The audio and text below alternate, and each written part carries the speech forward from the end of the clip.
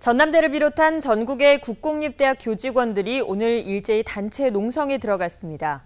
교육부가 교직원들에게 주는 수당 지급을 전면 금지했기 때문입니다. 문형철 기자입니다. 지난 7월 교육부가 전국 국립대학에 대해 기성회비 지급 관행 개선을 요구하면서 이번 논란이 불거졌습니다.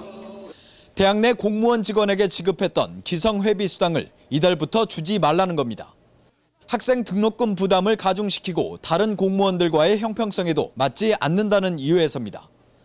지난달에는 이와 관련된 교육부 훈련까지 개정된 상황. 국립대 공무원 직원들은 즉각 반발하고 나섰습니다. 50년 동안 지급받아온 수당을 교육부가 일방적으로 폐지했다는 겁니다. 또 수당을 지급받지 못할 경우 비공무원 직원들과의 임금 격차가 발생할 수 있다고 설명합니다. 무엇보다 많게는 월 60만 원 정도의 수당이 없어지면서 생존권을 위협받는 처지에 처했다고 주장하고 있습니다.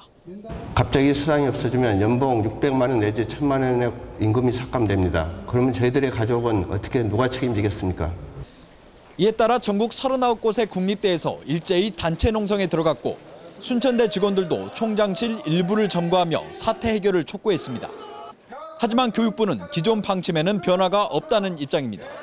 공무원들은 이러이러한 문제점이 있으니까 이제 받을 수 없다라고 이제 지급 근거를 이제 삭제를 했죠. 이 부분은 법과 원칙 그다음 논리에 입각한 부분이기 때문에 다시 이 방식이 바뀌거나 그럴 일은 없는 거죠.